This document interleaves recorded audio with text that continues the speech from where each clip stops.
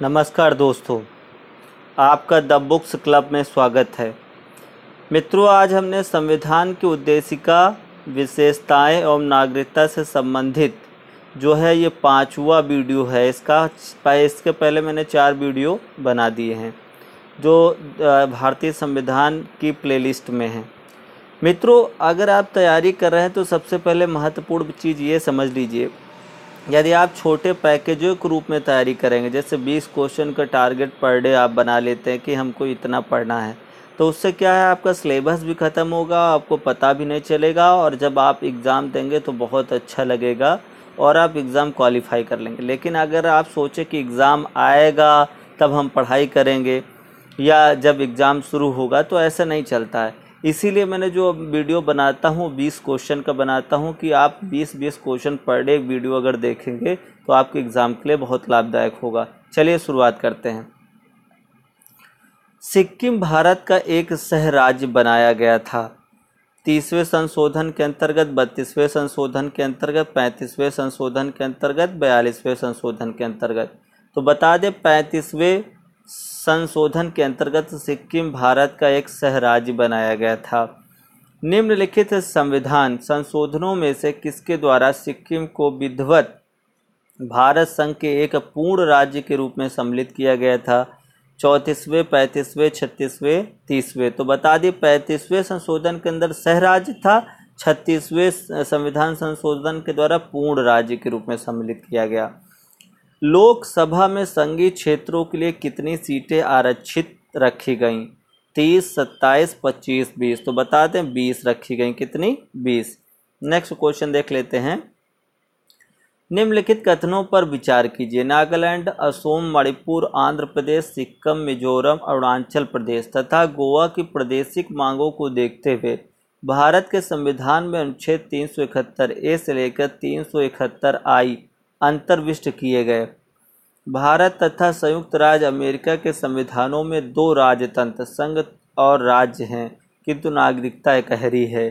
कोई व्यक्ति जो देशीकरण द्वारा भारत का नागरिक है, कभी भी अपनी नागरिकता से वंचित नहीं किया जा सकता। उपरोक्त कथनों में कौन सा सही है?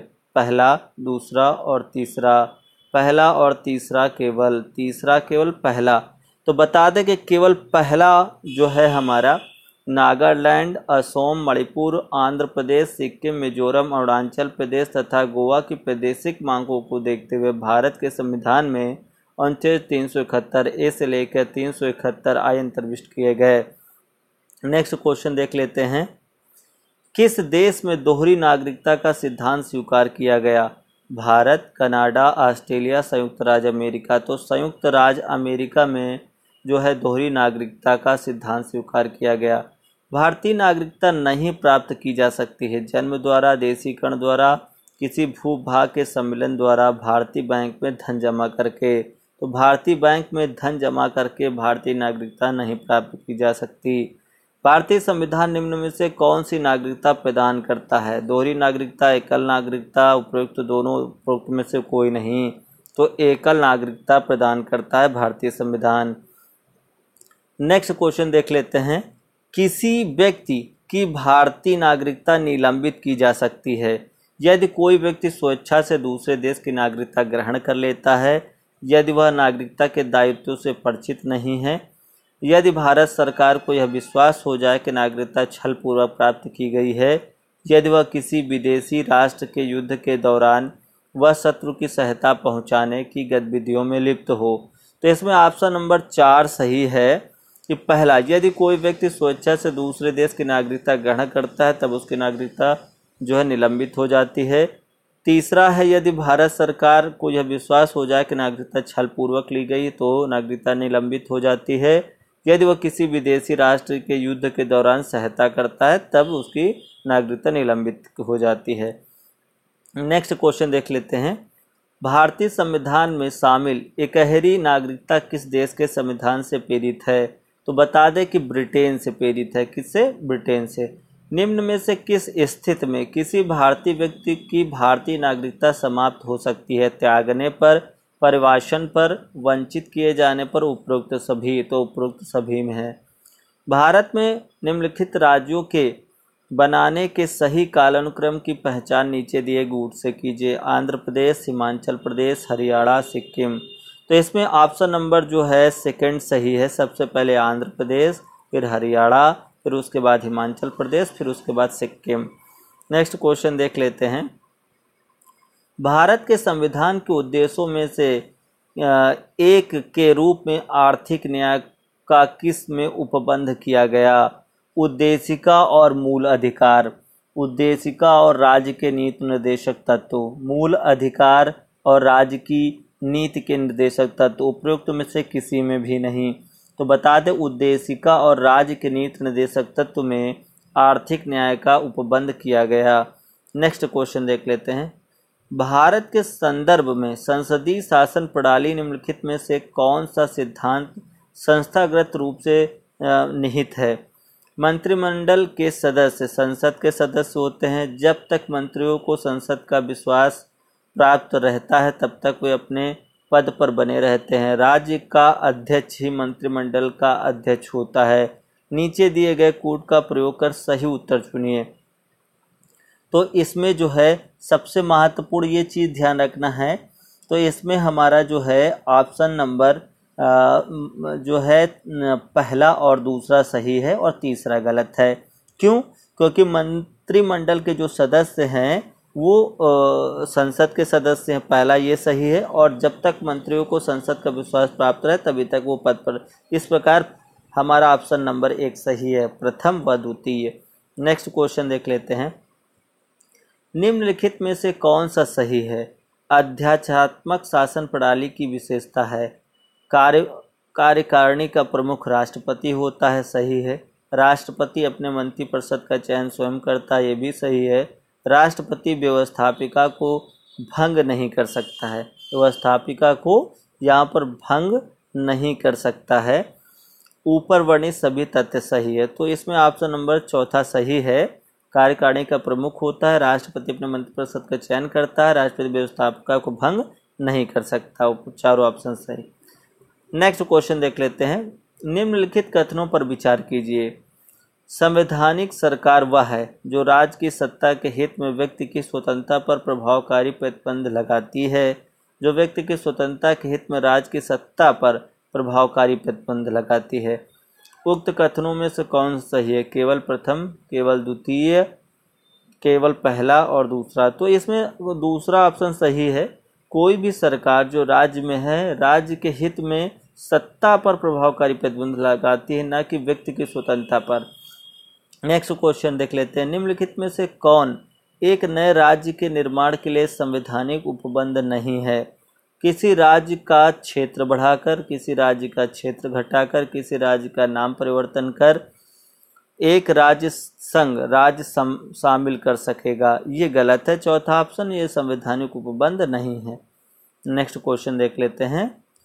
निम्नलिखित अवतरण में हम भारत के लोग, भारत को एक संपूर्ण प्रभुत्व, संपन्न समाजवादी पंथ निरपेक्ष लोकतंत्रात्मक राज्य बनाने के लिए तथा उसके समस्त नागरिकों को सामाजिक, आर्थिक और राजनीतिक न्याय, विचार, अभिव्यक्ति, विश्वास, धर्म और उपासना की स्वतंत्रता, प्रतिष्ठा और अवसर की समता प्राप्त कराने के लिए तथा उन सब में व्यक्ति की गरिमा और राष्ट्र की एकता और अखंडता सुनिश्चित कराने वाली बंधुत्ता बढ़ाने के लिए दृढ़ संकल्प होकर अपनी इस संविधान सभा में आज को द्वारा इस संविधान को अंगीकृत, अधिनियमित और आत्म तृप्त करते हैं। कब किया गया था? 26 जनवरी 1950 26 नवंबर 1950 26 जनवरी उन्नीस सौ उनचास।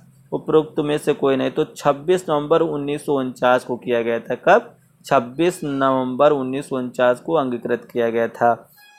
नेक्स्ट क्वेश्चन देख लेते हैं।